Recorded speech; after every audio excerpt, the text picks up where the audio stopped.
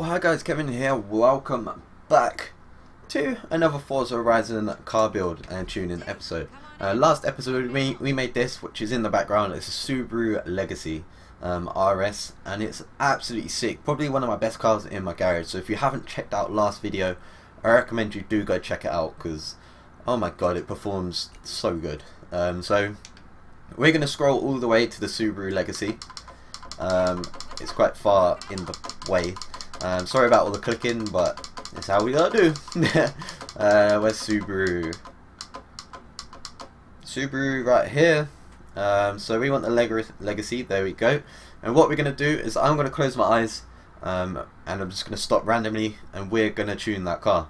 Um, so I'm gonna go left, seeing as right there isn't too many letters.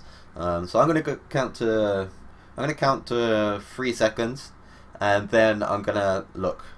Okay, let's close my eyes. 1,000, 2,000, 3,000, stop. Okay, I'm not going to look yet because I don't want to. Okay, Nissan, Nissan Datsun. Interesting. Interesting build, that one. Um, I think I have made one previously, but I don't think it was too good. Um, so I didn't really pursue it. Um, but what can we go for? Any nice paints in here? I even had wooden wheels, like, come on. okay, let's go for the rust bucket. Let's go for the rust bucket. Uh, it looks pretty sick. Yeah, seen as the Datsun. It is kind of classic, um, so you won't find too many in prime condition. Um, so we just found this one in my neighbour's back garden. Yeah, covered in bushes. Um, so we're going to tune it up to to be a monster. I, I'm going to say this car is going to be a monster. Um, the first thing about this car, I want to V8 it.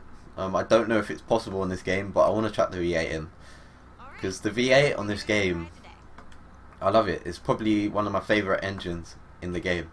Um, it just performs so well for me, so you can actually V8 it. So let's chuck the V8 in. 455 horsepower in this beast. Um, drivetrain we won't have to swap, uh, so let's not do that.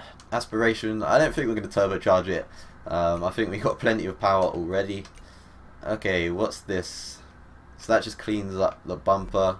I kind of like the black bumper though. Yeah, we don't want that wing. And the rear bumper, okay, we don't want that either. So no aero appearance. You could do your own aero and appearance. It's up to you. Uh, stock tyre compound. That's what we want. Tyres, we're going to go as wide as we can. 225s on the front and on the rear we are going to have 225s as well. Okay, so let's drop down the front to 205s. I thought it was going to go a little bit higher in the rear, but unfortunately we couldn't go higher than 225, which is kind of kind of annoying, but you know, we, we can deal with that. Uh, I don't think there's going to be any rooms that suit it in there. So let's go into specialised. Um, there's going to be some nice rims in here that will suit it down to the earth. And I think those do. Compomotive ML. Uh, that's the style I was looking for. Uh, let's make it a tiny bit more rim size in here. We don't want to go too big. Let's go for like 15s. Um, it still keeps like the small kind of feel to it, but then it is a little bit bigger and it eliminates the tire wall a tiny bit as well. So there we go, 15 inch rims on there. Um, let's go for the drivetrain. And yeah, everything in drivetrain is going to be race. Um, so go through and put that all on by yourself. And what I'm going to do this um, build is everyone's telling me to do um, what should we call it? Um, suspension, um, the off-road suspension, because apparently you get more steering angle um, so we're going to have to explore that because um, I haven't done it yet. Um, I did try it for about five minutes and it didn't work for me. Um, I just couldn't drift with off-road suspension. Um, I don't know what I done wrong, but I just couldn't do it. Um, so we're going to go more into depth into it here. Uh, we're going to try and tune this car to perform really well with the off-road suspension. So it does look really jacked up at the moment, but when we get into the tune and we drop it all the way to the floor, um, it's gonna uh, just look just like a lowered car basically. Um, so how much weight do we have? 913, okay. So if we just put an air filter and exhaust on this just to get some noise, um, I think we're going to have plenty of power there. um, down to 865 uh, kilograms now, which is really, really light. Really light. Um, so, let's see what camshaft's pushed it up to. 524, should we go for it? Let's go for 524. Why not? Uh, let's chuck the flywheel on just for loss of weight, I guess. Just minus 4 kilograms. Um, and that's that. So that's all the upgrades on. So it's going to look jacked up um, at the start. But we're going to have to drop it all the way to the floor. Uh, just to make it look normal because we don't want a jacked up drift car, you know. We don't want that. Um, unfortunately, I can't look left and right, so I can't see um, how much it actually drops it. But let's jump straight into the tune. Uh, normally I try and drift it, but seeing as this is a different suspension, we want to try and sort out the suspension first. Uh, so let's take all the toe down. Caster can come up to 6. Okay, anti-roll bars. They look pretty normal, so um, let's just make it a little bit stiffer. Springs, okay, so it's very, very soft. And that's what I don't like. I don't like soft drift cars, so we're going to take this up towards the stiff side. Um, and wow, look at the ride height. That's all the way, it's all the way to the top. What the fuck? What the fuck? so let's drop all the that all the way to the bottom as well. 15 centimeters. So we lost actually 10 centimeters there. Okay. Um, rebound is really soft as well. So let's make this a little bit stiffer. Um, in the front and rear, but rear is a little bit softer than the front. Uh, bump stiffness can come up and that should be gravy about there. Um, so this is just a quite literally a quick base tune uh, just to take away the suspension kind of off-road feel. Oh, you just saw it drop then. When I came out of the pause menu, it dropped all the way to the floor. So that was what we was looking for. Um, let's head over to the airfield. Uh, we want somewhere with no traffic and some nice corners. And the airfield, you, you know it's got nice corners. Oh, Datsun with the off-road suspension. This could only go right. I'm not going to say it's going to go wrong, but it can only go right, alright? Right, right? Yeah. I don't know either. Don't know how this is going to go. Uh, but we're going to have to try and find out, I guess. So I can kind of see the little bit more kind of lock, if you know what I mean. Like if we Look, look at that lock. So it looks, in terms of visual, there looks like there's more lock in the car, but we got to see how it drifts. What the fuck? What the actual fuck? My wheel feels fucked. Like, this happened with the suspension when I tried it out last time. The force feedback just didn't feel right. So I don't know if it's just like a, a thing with the suspension.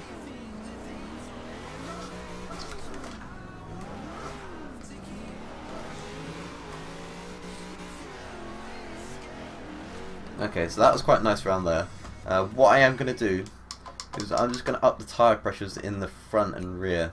Uh, I'm just going to see if the force feedback issue kind of goes away if we get more grip in the front. Um, but yeah, it seems to be, maybe on controller it's not as noticeable, but it's a lot slower. Um, and this was the problem I was having. Where's the music on? Um, this was the problem I was having with my last time I tried the suspension. It is a lot better, look at that, that's an amazing angle, that's so smooth as well. Okay, so it reacted a little bit better that time, so maybe you just up the tyre pressures and it should be a lot better.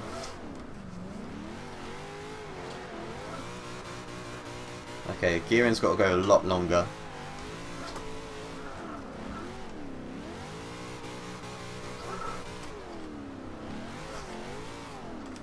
Okay. What I'd love for Forza Horizon to do, or Turn 10 or Playground games, whatever it is, um, just bring out, like, they've brought out an off-road pack. Fair enough. Bring out a drift pack. Just do it for the community, for fuck's sake. I don't know why they don't. They know that there's a lot of drifters out there. Uh, but they just don't do it. It's just so annoying. It's very, very annoying. Um, but we gotta we gotta deal with the fact that Turn 10 uh, don't listen to their community.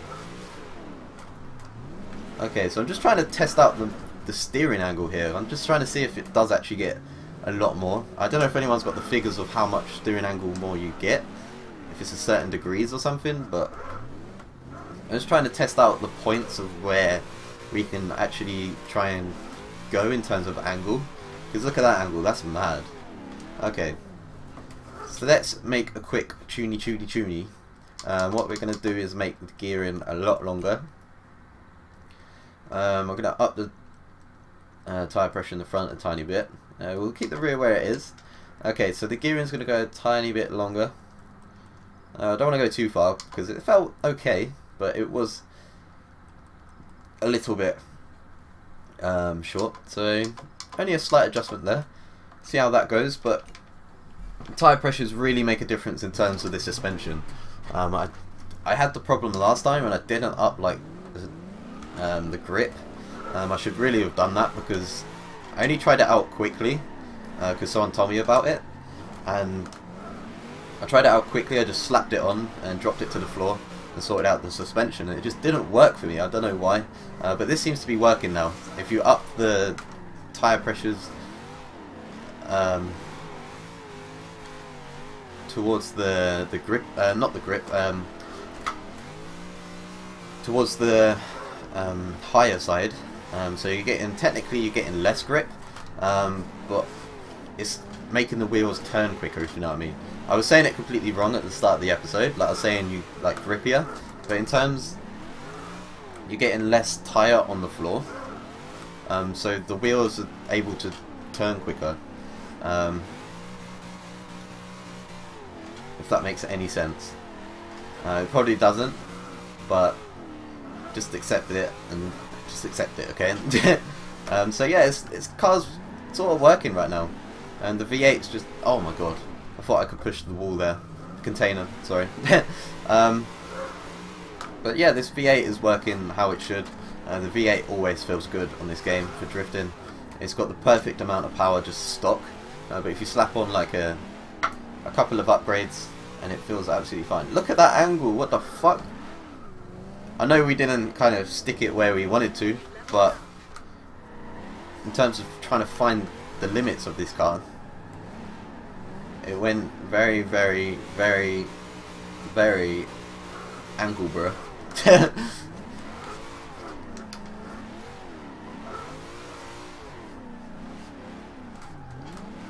okay,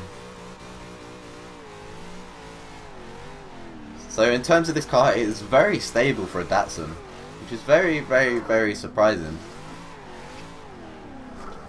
Um, I didn't really expect it to be this stable.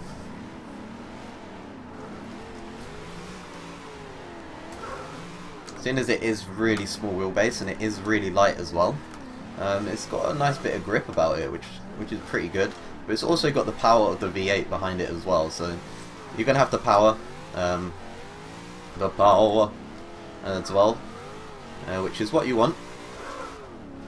Oh uh, yeah, the wheel's so much better. If you up the tyre pressures, um, just get a little bit more, no, let's rephrase that, get a little bit less tyre on the floor, uh, because obviously when you inflate a tyre, it's going to get more inflated, so the sides will slowly come up, if you know what I mean, if, if that makes sense, but if you if you lower the tyre pressures, it's going to like sag down, and there's going to be more tyre surface on the floor.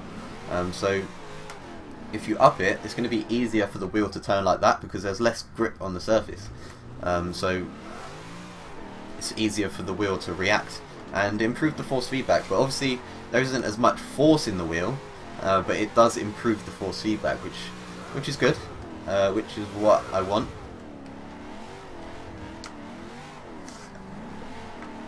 And it's okay, it's okay. Seeing as this is the first tune with that suspension, um, it's not actually that much different to to any other tune to be honest. Seeing as it is a Datsun as well, it's not the easiest car to tune because it is a very small wheelbase and it is very light as well. So maybe the next episode where we get a different car, uh, we could see how the suspension performs there as well. If it's a heavier car that is, because it's completely random. So I might get another another light car. Uh, but if we get a heavy car, we'll be able to see how it actually performs because on a light car it is a little bit weird. I'm not gonna lie, uh, but it's it's come back to it's come back to like normal suspension now. Um, after upping the tire pressures, it does feel a lot better.